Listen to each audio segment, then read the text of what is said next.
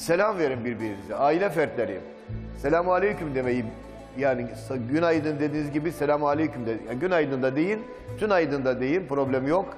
Ama selam deyiniz, selamun aleyküm deyiniz, Allah hayırlı kılsın deyiniz. Ailenin fertleri birbirine selam verin. Özellikle çocuklar, baba, anne, Dışarıdan eve girdiğinizde çocuğunuzu oturuyor gördüğünüzde evladım selamun aleyküm, anneciğim selamun aleyküm, aleyküm selam deyin. Birbirinize kucaklaşınız. Mutlaka karı koca arasında da bu selamlaşmanın çıkarken girerken hatta çıkarken selamun aleyküm denmesi girerkenki selamun aleykümden daha az kıymetli değildir. En az o kadar kıymetlidir. Çıkarken girerken selamun aleyküm.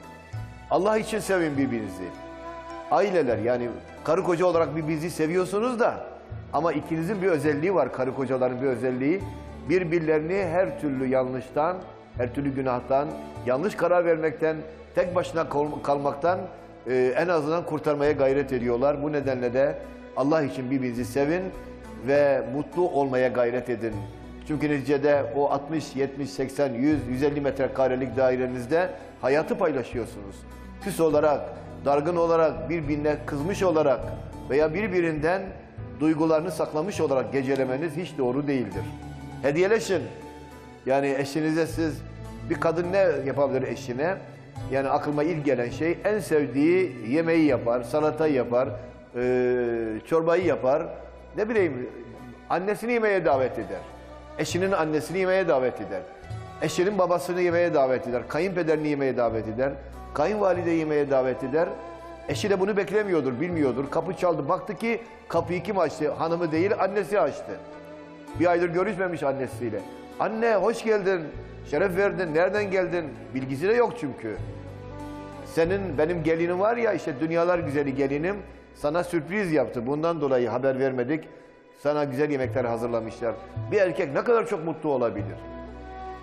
Erkek değil, hanım bunu yaptığı için. Şimdi erkek bunu yapabilir. Ne yapabilir? Hanımına söylemez. Dışarıdan bir pastasını, böreğini, bir şeysini alır. Hanımının annesini, babasını yemeğe davet eder. Yemekte beraberce kapı çalarlar. Gelin kapıyı açtığında bir de ne görsün? Annesi, babası kapıda eşiyle beraber gelmişler. Yani hediyeleşmek böyledir. Sadece e, tek taş yüzük almak, iki taş yüzük almak. Buna herkesin gücü yetmeyebilir yani. Zaten hanımlarımız o konuda hassas insanlardır. Kocalarını zorlamazlar. İlla ki bana bunu al demezler. E, Büyük çoğunluğu öyledir tabii ki. Ufak şeylerle kadınlar mutlu olabiliyorlar. Seni seviyorum kelimesiyle. Beyler söyleyin hanımınıza seni seviyorum. Bundan kıyamet kopmaz. Yani erkeklikten bir şey de gitmiyor. Yani karizmanızdan bir şey eksilmiyor. Eşinize seni seviyorum deyiniz. İçeri girdiğinizde eşinizi gördüğünüzde bugün ne kadar güzelleşmişsin maşallah yani bugün daha iyi görünüyorsun. Baya kilo vermişsin filan. Hanımlar bu cümleleri duyduklarında sevinirler. Hanımların sevineceği sözleri onlardan esirgemeyin. Gittikten sonra biriniz hayattan koptuktan sonra keşke şunu yapaydım, keşke şöyle sevin, sevindirseydim. Ama geçti gitti. Hayattayken bu fırsatı yakalamaya gayret edin ve mutlaka hediyeleşin, selamlaşın, birbirinizi sevmeye gayret edin inşallah. Özel günlerinizi değerlendirin. Bir çiçek gönül alır, bir bir bir bir gül gönül alır. Ufak bir kolye imkanınız kadarınca illaki çok zengin olması, illaki çok e, pahalı olması gerekmiyor. Gönülden gelen bir e, hediye, bir selam, güzel bir mesaj, e, efendim hanımınızın mesaj kutusuna güzel bir hayatımın en anlamlı günü seni bulduğum gündür filan. Öyle bir mesajla gönderirseniz inanıyorum ki eşiniz o gün havalara uçacaktır, sevinecektir. Mutlu olur. Bizim kadını, kadınlarımız, kızlarımız az şeyle de mutlu olmayı biliyorlar. İbadetlerinizi birlikte yapın. Hanım hadi gel beraber namaz kılalım. Hadi hanım beraber bir Fatiha okuyalım. Hadi hanım beraber iki rekat nafile namazı kılalım. Hadi bu gece teheccüde kalkalım. Hadi bu gece bir fakir sevindirelim. Değil mi? Hadi bu gece tek başına yaşayan 80 yaşındaki, 85 yaşındaki Hacı Satın iğne var ya, Satın iğneye gidelim beraberce. Bir çorba hazırla, bir pilav hazırla, bir şey hazırla, 2-3 elma koy, Satın iğneye gidelim mesela. Onun bir duasını alalım. Kapı çalın, kapısı çalınmayanın, kapısı çalınanın kapısını çalmaya gerek yok. Ona giden çoktur zaten. Gitmeyene git. Gelemeyene git. Kapısı çalınmayana git. İnsana muhtaç olana git. İnsan yüzü göremeyene git. Çocuğu tarafından terk edilmişe git. Yalnız başına kalmış olana git. Yetime git. Yütemaya git. Efendim sahibi olmayana git. Din budur aslında. Din sadece namaz kılmak değil. Elbette namaz kılmak dinin gereğidir. Din sadece oruç değil. Elbette ki oruç İslam'ın beş temelinden biridir. Ama dinin ahlakı budur. Gelmeyene git. Kucağını açmayana kucağını aç. Yanlış yapanı affet. İntikamdan vazgeç, kinden vazgeç, haramdan vazgeç. Kursağına haram para girmesin. Din budur. Bunu yaparsanız o zaman Allah sizden razı olur.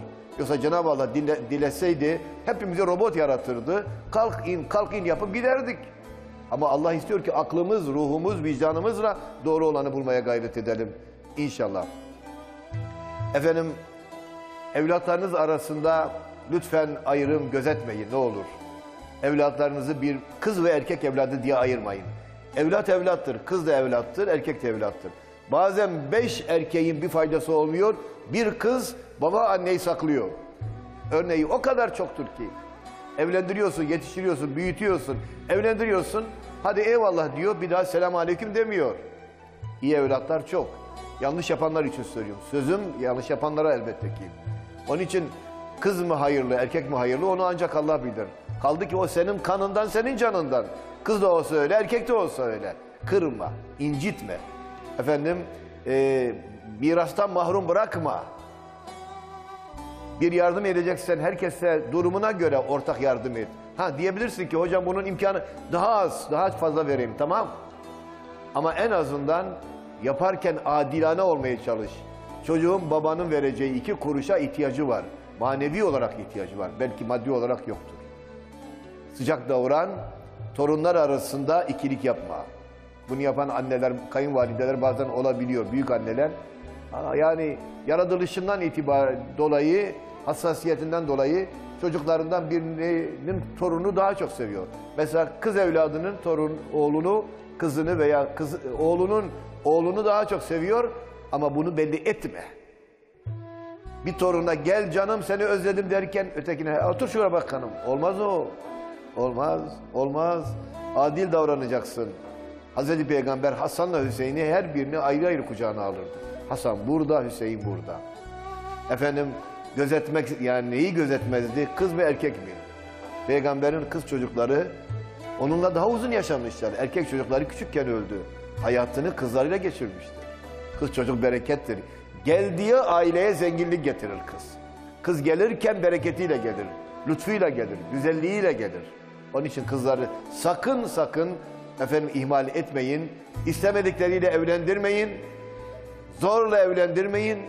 Kızı dinleyin, dinlemeden karar vermeyin. Kendi başınıza kızınızın geleceği konusunda karar vermeyin. Kızınızı dinleyin, oturun tartışın.